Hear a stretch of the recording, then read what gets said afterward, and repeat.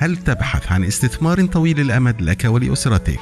بالم لاند للاستثمار الزراعي وإدارة المشروعات. تقدم لك استثمار بعمر النخيل مشروع استزراع النخيل في الواحات البحرية. يبدأ الاستثمار بمرحلة أولى بواقع 50 فدان مخصصة لإنتاج التمر المجدول حيث يشهد سوق التمور نموا متصاعدا سنويا. سعر الطن ارتفع من 824 دولار في 2017 إلى 980 دولار في 2018 تقوم مصر بتصدير التمور لأكثر من 42 دولة حول العالم. بلغ إجمالي الصادرات عام 2019 40 مليون دولار ويعتبر التمر المصري من أجود أنواع التمور لتوفر الطبيعة والمناخ المناسب لها.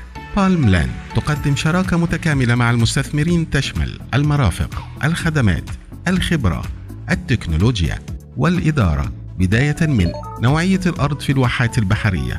نوعية فسائل النخيل الممتازة تجهيز الآبار مد شبكات الري توفير الأيدي العاملة الأسمدة المستخدمة حصاد المحصول تسويق المحصول وبيعه بأعلى عائد تطبيق المعايير العالمية في جميع مراحل المشروع بالم لاند شراكة مثمرة نحو مستقبل آمن.